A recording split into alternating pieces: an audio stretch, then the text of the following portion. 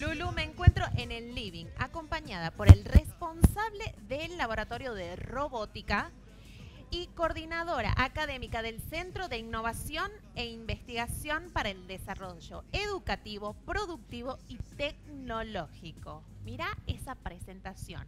Y no solamente eso, en la mesa tenemos algo que realmente nos va a sorprender. Estoy acompañada por Ezequiel Garay y Alejandra Sánchez. Bienvenidos. ¿Cómo ¿Qué tal, Andrea? ¿Cómo estás? Muy bien, muchas gracias. Buen día, buen día a la audiencia.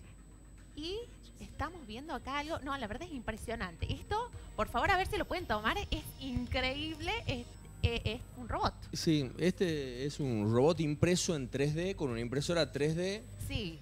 Y tiene un, algoritmo de inteligencia artificial que mueve eh, los motores de acuerdo a una voz. Hola, América. Ah, se quedaron sorprendidos en el piso. Es impresionante los ojitos. Es increíble el movimiento. Bueno, entonces estamos próximos a brindar un taller de robótica. ¿Es así? Así es. Eh, bueno, nosotros somos una institución que dependemos del Ministerio de Educación de, la provincia y, bueno, también por decisión del ministro de que la, robótica sea eh, un instrumento transversal dentro de, la currícula de, las escuelas. Nosotros eh, propusimos realizar talleres que tengan que ver con, con, la robótica a través de algo lúdico como es el fútbol que es justamente los chicos van a elaborar eh, robots que luego van a eh, bueno van a competir en un torneo de fútbol, exactamente. Ah, este, lo vamos a hacer por categorías. Eh, el sábado pasado hemos comenzado con, los más pequeños y este, este viernes comenzamos con los chicos los adolescentes. Vamos a tener también una instancia para, para los adultos. Bien. Para inscribirse pueden asistir al, al, al CIDEP que es en la avenida José Ingeniero 260 eh, o, también a través de nuestra página web, de nuestras redes sociales, pueden también interiorizarse sobre la propuesta. Perfecto. También tendremos capacitaciones docentes, estamos vinculados también al mundo del trabajo, brindando también capacitaciones a empresas que tienen que ver con la automatización industrial.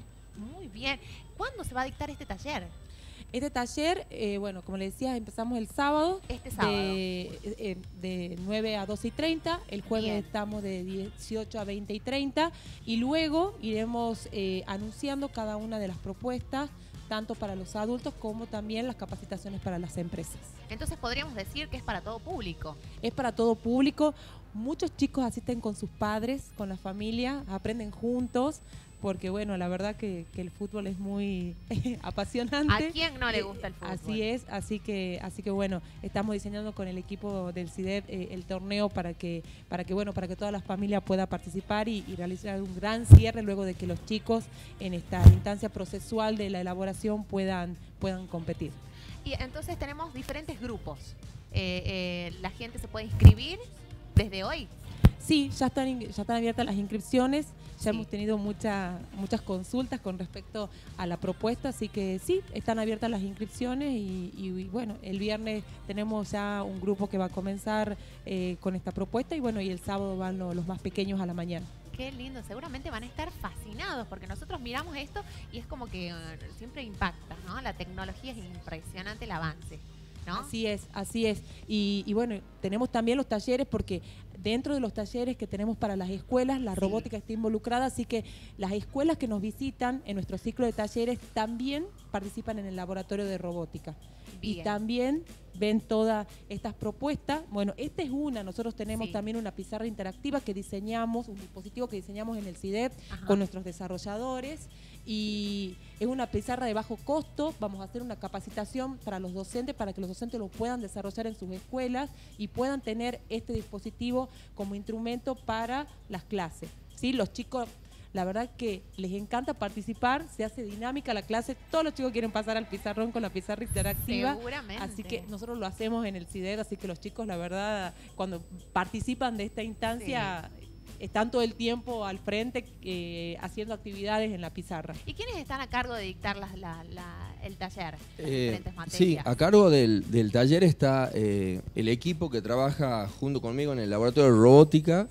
Y un poco la idea de esto es sobre todo desarrollar el pensamiento computacional de los chicos. Es decir, que es el pensamiento que hoy se necesita en, en las empresas, en las industrias, cosas que tienen que ver con esto, con la impresión 3D, con la inteligencia artificial, con la, con la computación, entonces con la electrónica, con la robótica, entonces un poco la idea de estos talleres, como acá mencionaba Alejandra, era justamente desarrollar y el pensamiento computacional, que los chicos programen, que los chicos eh, construyan sus propios robots, esto del robot futbolista que está muy bueno.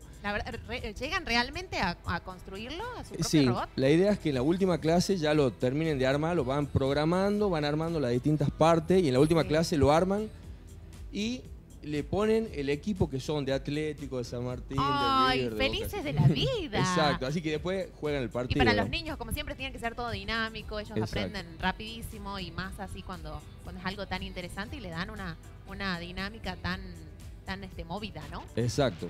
Así es. Y bueno, la, idea no solamente, nosotros a través de lo lúdico usamos eh, eh, las herramientas para poder llegar a los chicos y que se vinculen, ¿no? Con, con, la robótica, con la automatización, aprenden de una manera entretenida, ¿sí? Pero adquieren conocimiento, que eso es lo más importante. Los docentes que acompañan a los niños eh, cuando van a las escuelas eh, también, o sea, se acercan a, esta herramienta tan importante hoy para poder desarrollar muchas, muchas actividades dentro del aula. Así que la verdad nosotros tratamos de, de acompañarlos con una propuesta pedagógica previa a la visita, escenificada durante la visita y luego continuamos trabajando post visita para, para ver de qué manera ha impactado en el aula cada una de nuestras actividades. Perfecto, entonces, qué bueno, las escuelas los visitan a ustedes. Así es. Qué lindo realmente sería que sea una, materia más, así como matemática, lengua y robótica. Exactamente, es un poco la idea. Bueno, está siendo utilizada de manera transversal a través en, las ciencias naturales, en las ciencias sociales, en las matemáticas, en, en, en lengua, en, absolutamente todas las asignaturas, la robótica eh, funciona de manera transversal. O sea, es una herramienta para poder acompañar a las otras asignaturas. Estoy segura que se van a despertar ahí varios talentos y varios cerebros brillantes, ¿no? Mentes brillantes. Tenemos muchos ingenieros potenciales ya, ah. muy chiquititos. Qué lindo, qué lindo apostar a esto. Muchísimas gracias, realmente muy interesante. Para dar el pase a Yelén, nuestra especialista de moda, recordemos entonces cuándo, dónde, en qué horarios y cómo nos inscribimos. Bueno, nosotros estamos eh, en la avenida José Ingeniero 260. Eh, pueden hacerlo a través de la página del CIDEP, de las redes sociales, eh, de 9 a 19 horas Doy un teléfono también, 497-2700 por cualquier consulta. Perfecto. Y este viernes empieza un nuevo taller y bueno, y el día sábado ya está el taller para niños. No, felicidades, realmente me encanta. ¿Podemos hacer eh, que nuestra amiga le ponemos un nombre? ¿Tiene un nombre? Eh, Octavio se llama. Ah, eh, amigo. Octavio. Octavio, ¿puede dar el pase a Aye o no? Sí. Vamos a verlo. Octavio, por favor. Ayelen, nuestra especialista de moda. A ver, ¿me prestas el micro así? No, no, Octavio tiene micrófono y todo de nuestro programa. A ver. A ver. A ver, a ver. Vamos, Octavio. Vos podés. Vamos con Ayelen.